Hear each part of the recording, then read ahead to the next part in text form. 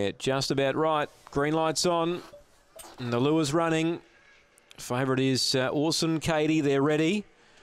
And racing, and Sutton uh, Prince began brilliantly out in box six. Will have no trouble getting over. He came out to Shanghai, didn't he? Led by three lengths to Orson Katie. Going to third, very jiggling, about three lengths away to Weblek Wave. Then terrific Janine and Sutton Ebony last of all. But Sutton Prince on top, and he dashes away, puts up six.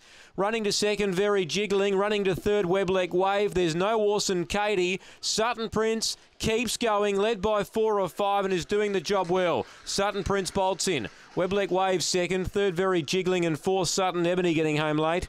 Then terrific Janine and boy Orson Katie. It was the first one beaten, ran last of all the time, is 30 and 69. It's a new PB. Sutton Prince, Angela Modra. Brilliant win. Number six, Number six defeats eight Weblek Wave, two third very jiggling, and fourth goes to three Sutton Ebony. There was a lot of money for that dog all day, Sutton Prince, and it came out absolutely flying from the six and has been able to lead all the way. Six, eight, two, three after race number seven, four and three quarters that winning margin. Standing by for the all clear. The features up next, the champion puppy.